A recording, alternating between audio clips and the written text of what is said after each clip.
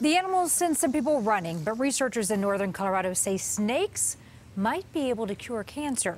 We know rattlesnakes can kill humans, but scientists hope that their venom may actually be able to kill cancer cells specifically. Our Dillon Thomas got a hands on look at how scientists are experimenting in hopes of finding a cure. For many, snakes like this one here are absolutely terrifying. I admit I had to build my confidence just to hold Jimmy here. But some scientists here at the University of Northern Colorado actually think some snakes may be the key to battling cancer. It's a sound we've been trained to fear from an animal many loathe. People tend to have a visceral reaction to snakes in general. But for UNC professor Stephen Mackessy, a room stockpiled with hundreds of venomous snakes is a room stockpiled with potential. These are compounds that evolved to kill other animals, kill things, in general wreak havoc with living systems. It turns out they're actually a very logical place to look for therapeutics.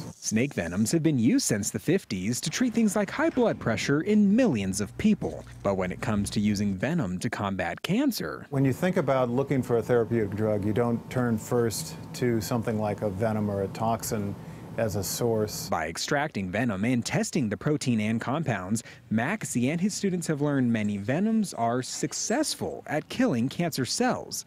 PhD candidate Tanner Harvey has specifically been researching viper venoms. It kills breast cancer really quickly at low doses, and it kills colon cancer at low doses, but it doesn't kill melanoma. Killing the cancer with venom is not hard. It's not killing the patient. That's the challenge. A challenge this team embraces. It's just like panning for gold. Something that's commonly associated with killing could actually one day help save life. I think it certainly will. Would students here be the key to finding the cure to cancer? There's no question that they have the ability to, to make that kind of contribution.